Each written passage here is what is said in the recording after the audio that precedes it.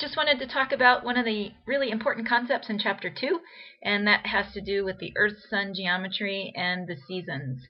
And in order to do that, what I've got up on the screen here is a exercise for weather and climate that is available on your mymeteorologylab.com website in Chapter 2, Contents. Um, it's under Exercises for Weather and Climate, and these are pretty cool animations. They're um, interactive. So what I've done, I've got this set up now. So we're on June 20th, which is today, just to illustrate what's going on for us in the Northern Hemisphere. Grand Junction, which is where a lot of us are uh, this summer, um, or at least you've been studying at Colorado Mesa University in Grand Junction. Um, Grand Junction is at 39 degrees north, and that's indicated by this green line on the Earth here. So if you move these arrows here, you can change your latitude in the northern hemisphere. And what this is showing is the angle of the sunlight that's hitting us right now. And notice it's not at 90 degrees.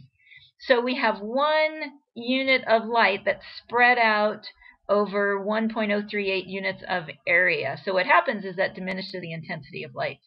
Um, and that is really the primary reason we have the seasons. Because if we change this to a different time of year, let's let this spin around, notice how the angle of the sun decreases. We'll stop it. Now we're on October 22nd, and notice we have one unit of light that's spreading out over one, almost 1.6 units of area, so that diffuses the light and makes it less intense. So let's head back around. Notice how low it gets for us. By the time we're in January, the light is, the intensity of light is really, it's spread out over two times the amount of area.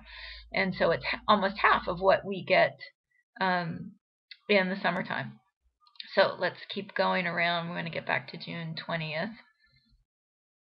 And here we're getting into the summer. So here we are, June 20th, the summer solstice, the longest day of the year for us in the western United States. The solstice actually happens at 11 o'clock tonight in Grand Junction on Thursday, June 20th. And so that means if you're in the eastern U.S., it happens Friday morning.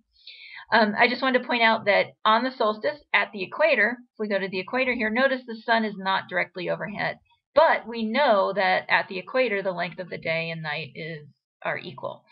Um, also, if we, let's head south, notice now as we head south, it's winter there, and so the angle of the sun is declining, so they have less energy. So remember, it's the tilt of the Earth that is responsible for our seasons, and it's not the position of where the Earth is in relationship to the sun.